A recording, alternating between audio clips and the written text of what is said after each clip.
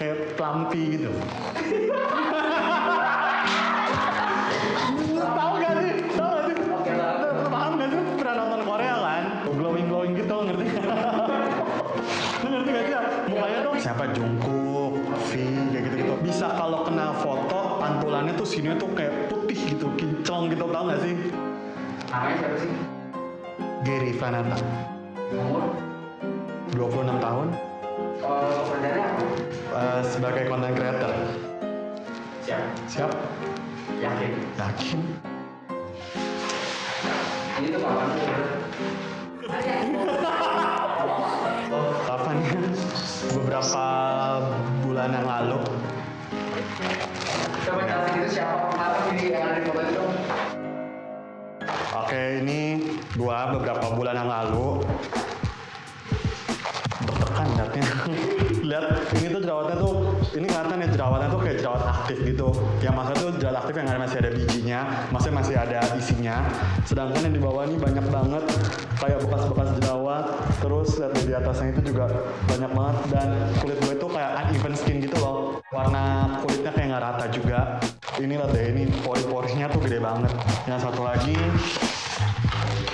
ya masih sama tapi bisa dilihat kayak emang kulit gue tuh dari dulu dari semenjak gue kayak dari SMA kali SMA lulus kuliah lulus kuliah deh kuliah deh kulit gue tuh emang kayak gampang jerawatan gitu loh nggak tahu kenapa kayak eh, jerawatan aja gampang banget jerawatnya kayak gini nih Sejauhnya gimana? Di situ doang. pipi lebih banyak tuh di pipi kalau misalnya lagi jerawatan kayak gitu gue tuh suka selfie aja. Suka kayak ih kenapa ya muka gue tuh begini? Gitu. Terus gue kayak, kayak foto gitu dokumentasiin. Oke, eh, boleh kita sedikit tentang kerjaan. Dulu sebenarnya kerja apa sih? Maksudnya, eh, apakah dari dulu sudah influencer atau dulu bukan influencer? bukan. Kalau dulu sendiri gue tuh kerja sebagai kayak sales marketing gitu baru lulus SMA eh, sambil kuliah dulu ya kayak anak kuliahan gitu kayak gimana sih cari-cari duit tambahan buat jajan duit duit main-main gitu sama teman-teman. Akhirnya lulus SMA kerja sambil kuliah. Ya terus berawal mulanya tuh gue tuh suka foto-foto dulu kayak hobi aja gitu kayak liat foto. Dulu tuh hobinya tuh gue foto-foto makanan. Terus dari hobi lama-lama jadi kayak banyak dilirik sama brand akhirnya mereka minta kayak apa ya jadinya collaboration akhirnya di situ mulailah jadi content creator Terus boleh ceritain, tadi kan lu jadi sales, sales marketing. Hmm. Itu di umur berapa? berarti 18 tahun lulus SMA Terus eh, yang lu bilang dulu kuliah itu jerawatan pas sekitar umur segitu. iya pas SMA lulus SMA kuliah tuh parah-parahnya jerawatnya mateng-matengnya mungkin puber kali ya Apakah cuma lu berdoa atau karena kerjaan jadi sales marketing bisa jadi jerawatan? Ada? Kalau menurut gue sendiri itu emang karena yang pertama itu emang mungkin dari muka gue kali ya yang mungkin sensitif banget jadi kayak eh, gampang jerawatan terus dulu kan gue kerja kayak sales marketing juga kayak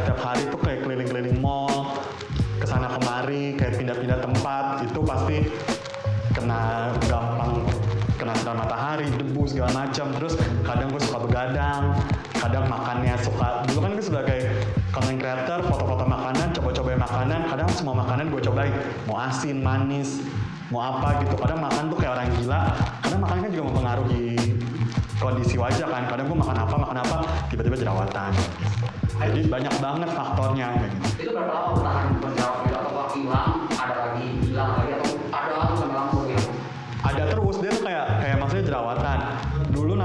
juga masih belum ngerti produk-produk gue nggak ngerti skincare. Ibaratnya kayak dulu juga budgetnya terbatas. Kayak bingung-bingung gitu kan mau coba apa coba apa kayak gitu. Terus kayak akhirnya ya pengetahuannya tuh masih kurang. Kalau sekarang kan udah banyak banget produk-produk yang mengedukasi udah banyak banget kayak maksudnya tuh eh, kayak kita di YouTube atau di Instagram kan sering banget tuh ngeliat beauty beauty vlogger atau mungkin dokter kecantikan yang edukasi. Udah jadi enak banget udah jadi gampang banget. Kalau dulu tuh gue kayak bingung mesti pakai apa mesti pakai apa tantangannya apa gue tuh bingung. Jadi ya menurut gue lama sih dulu ber, ber- berapa tahun gitu. Terus kalau tentang pengalaman berdasarkan pengalaman lu pas lagi di kantor, nah kondisi cewek lu pernah ada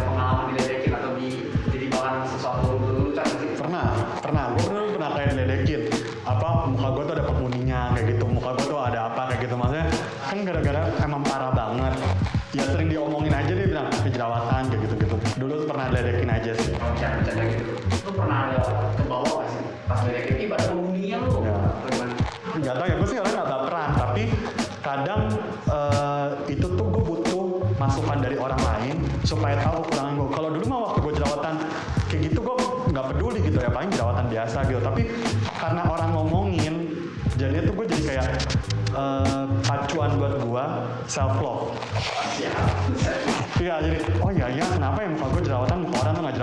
akhirnya coba deh belajar skincare tadi gue bilang coba-coba skincare coba-coba perawatan gitu dari situ lu baru, belajar tentang produk skincare atau Ya. belajar tentang perawatan. Jadi kayak udah udah lama kelamaan kayak cari-cari tahu dulu skincare itu tuh kayak gimana pengembangannya, kenapa bisa jerawatan. Cari tahu dulu apa sih kenapa bisa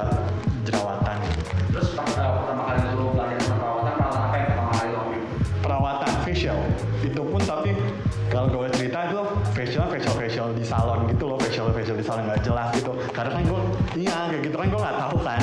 Kan sebenarnya nggak boleh karena facial itu tuh harus di bawah naungan dokter. Sedangkan kalau misalnya di salon-salon itu kan cuma kayak nggak tahu itu mereka coba belajar dari mana juga nggak tahu. Dulu gue iseng-iseng belajar ternyata itu malah meradang dan memperparah. Karena tapi bisa spesial besoknya makin parah gitu. tergantung sih. Jadi eh, kalau misalnya yang kan jerawat itu pasti diekstraksi kan komedonya itu pasti nggak makin marah merah-merah gitu. Tapi kan beberapa hari langsung hilang. Dengar lu pernah pakai dokter? pernah. Satu dokter yang paling ampuh katanya. ya gue pengen nanya teman gue akhirnya gue cobain cobain dokter deh kayak gitu. Coba dokter SPKK gitu. Jadi pertama kali tuh emang waktu masih parah-parahnya gue coba lagi ke dokter. Itu dokter gitu di daerah waktu gue pakai sebenarnya tuh nggak langsung sembuh. Muka jerawatan gue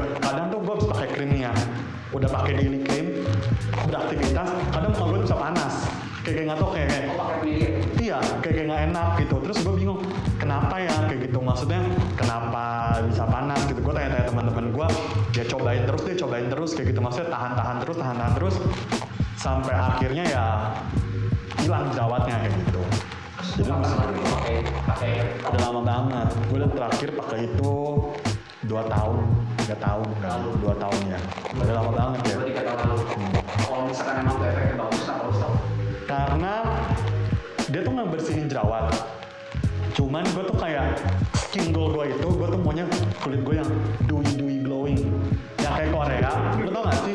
Lu kalau liat artis Korea muka mereka tuh yang kayak kaca gitu loh licin gitu. Iya dewy dewy glow, glowing glowing gitu ngerti? Lu ngerti gak sih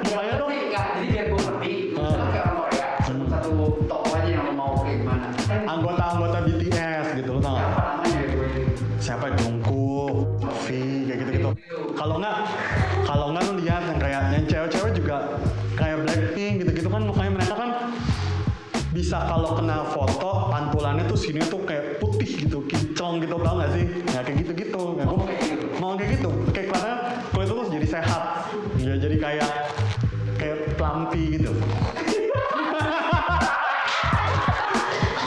tahu gak sih? Tahu gak sih? Paham gak sih? Pernah nonton Korea kan? Tahu Blackpink itu kalau mereka muka mereka tuh kayak glowing, glowing, becek-becek, tapi bukan yang berminyak. Nah itu gue mau yang kayak gitu tuh, kayak kulit-kulit kulit sehat. Sedangkan di dokter itu gue udah pakai lama, nggak bisa bisa sampai begitu. Nah pas gue coba iseng pakai skincare, skincare itu tuh bisa ngebuat muka tuh jadi kayak lebih glowing gitu. Jangan, Coba dong kayak Jungkook? ya kayak BTS gitu. Mau mau kayak dia lah ya. Iya mau, Sekarang kira-kira mirip dia. mirip dikit. Mirip dikit. mirip. Langsung nih jawabnya mirip. Sedih deh dia disamain sama gue. Oke, eh, berarti kalau misalnya sini itu udah berapa jenis skincare yang pernah lu pakai dalam hidup banyak banget. Kalau uh, jumlah skincare ada puluhan skincare itu udah pernah gue coba. Dari lokal brand sampai brand-brand luar udah pernah gue cobain. Berarti kira-kira setiap kali lu pakai produk skincare? Berarti lu cari-cari tahu doang sih itu kayak kandungannya apa kayak gitu. Gitu Oke dari dari setelah semua yang lu pelajarin, eh, menurut lu next extract tuh apa? Kalau skincare menurut lu gimana?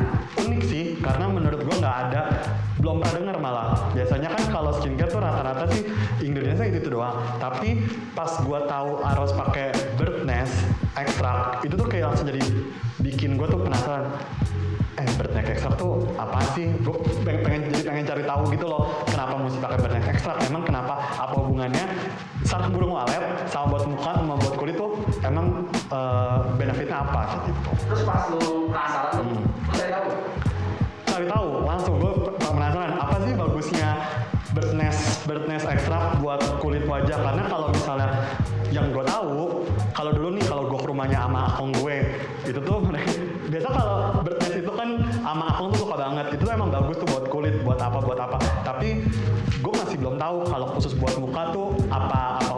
gitu apa benefitnya kalau gue tuh nggak salah baca eh, Bertnek ekstrak itu dia tuh punya kandungan bagus banget untuk epidermal growth factor. Itu tuh kayak buat ngeregenerasi sel kulit gitu loh buat kolagen jadi kulit kita jadi semakin lebih sehat. How about exfoliating? Exfoliating Ah, itu jadi pengangkatan sel kulit mati. Itu yang gue tahu. Kayak dia tuh exfoliate gitu. Ya kulit mati diangkat.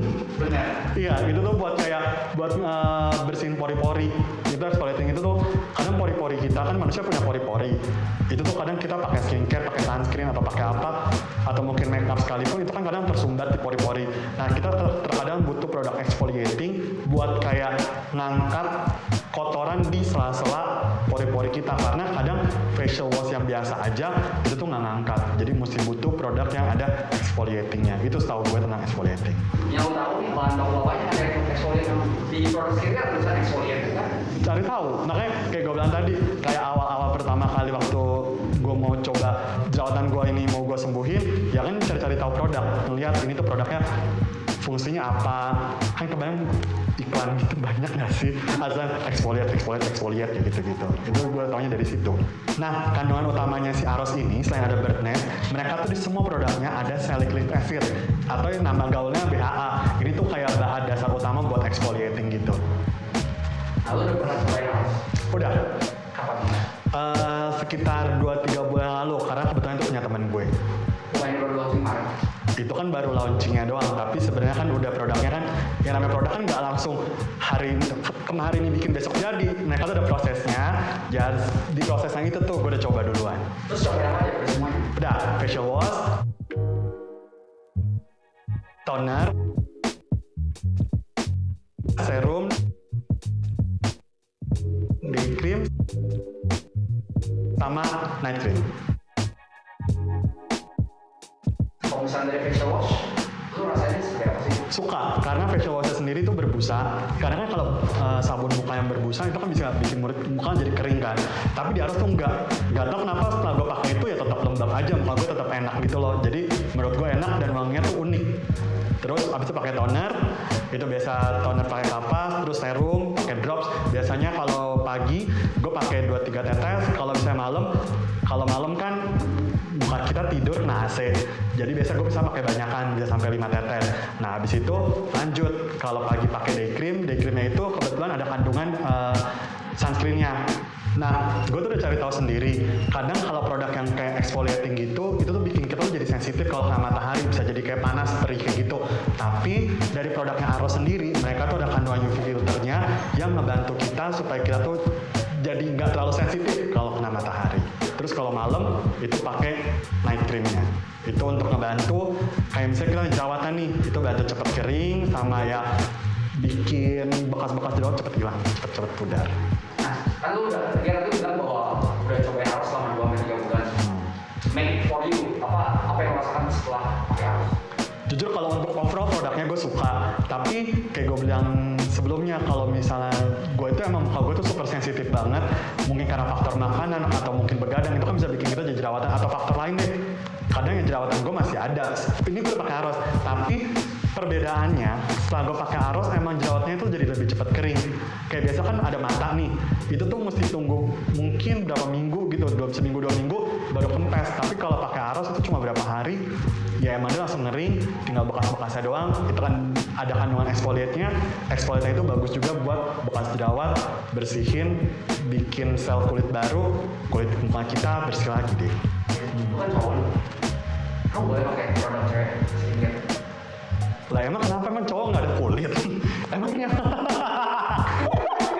Ini apa sih? Ini kan kulit juga. Sama cewek juga punya kulit. Jadi menurut gua kalau skincare itu nggak ada cewek nggak ada cowok ya namanya skincare ya untuk kulit. Kita kan manusia. Manusia itu cewek cowok berkulit udah gitu doang. Kalau gua mikirnya skincare is genderless sih.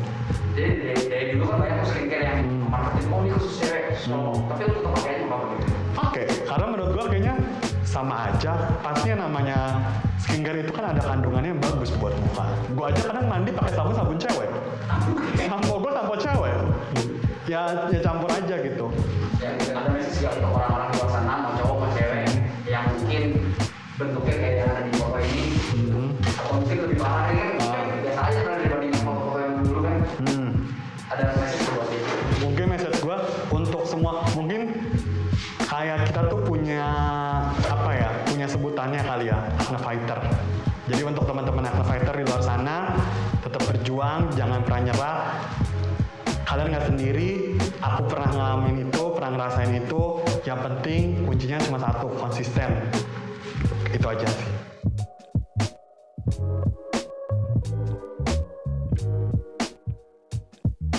Natural Beauty Aros.